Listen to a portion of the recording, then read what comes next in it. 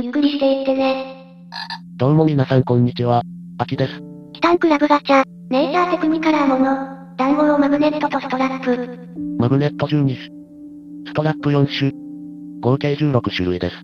原型製作工さん、比較佐藤純也さん。今回は往年のハイクオリティガチャをめでるだけの動画です。こちらの緑色は再販のものです。2019年、海辺の生き物、その2。再販ですが、初版のクオリティを忠実に再現しています。同じくこちらも再販です。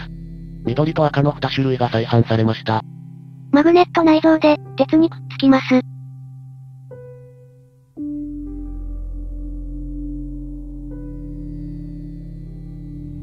こちらは初版のものです。造形、塗装工程は同等のようです。ほとんど見分けがつきません。沢ガニもそうですが、再販の同等のクオリティキープはすごいことだと思います。団子を、魚類、カサゴ目、団子オカ。大きさ約2センチ。分布域、日本各地。東シナ海北部、公海。旋海の岩礁域に生息しています。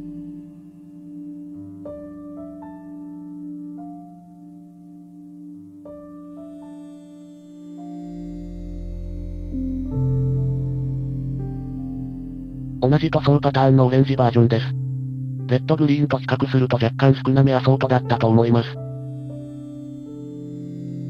団子のような丸い体型で、腹部に腹びれが変化した吸盤を持つ。レッドグリーン以外は混入率が少なく、ホワイトも少なめアソートです。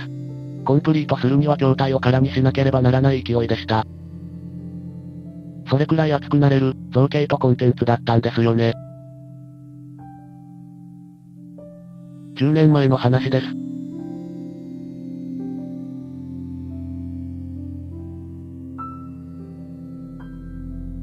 低水温域の長官帯から、水深20メートルほどに生息。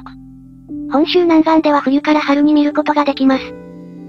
体色は赤色系のほか、黄色や緑色など変異種が多いです。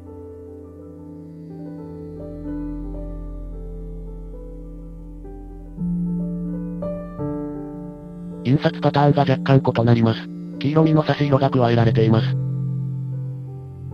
餌は小さな甲殻類など、二枚貝の仲間が岩に開けた穴や、大型フジツボの殻にメスが産卵し、オスは孵化するまで卵を守ります。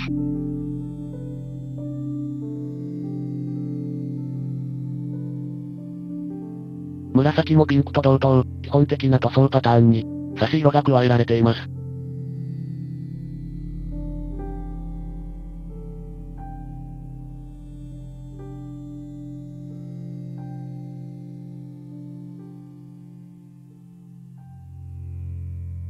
まだら柄。塗装工程が複雑な、レアソートです。50分の1確率で出現します。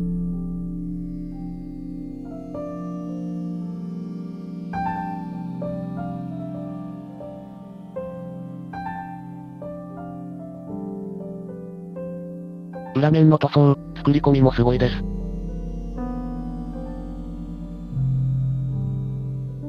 腹部の吸盤の再現も、すごいです。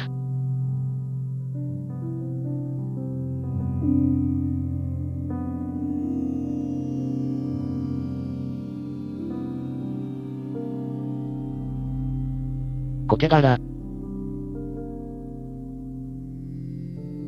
こちらもレアソート、50分の1確率で出現します。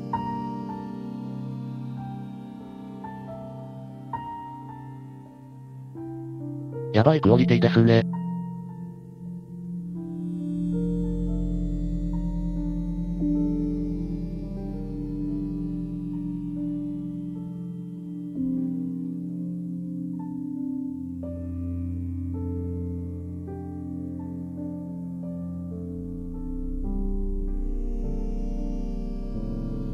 ストラップバージョンにはマグネットは入っていません。造形自体は同じものです。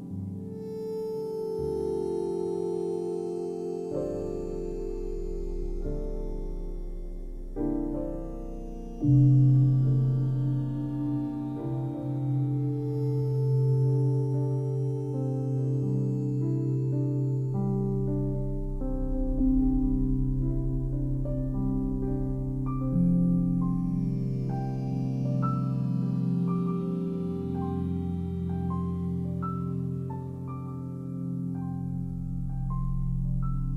のストラップバージョンです。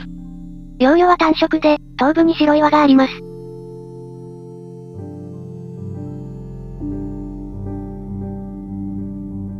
黄色い治療は、マグネットバージョンのみです。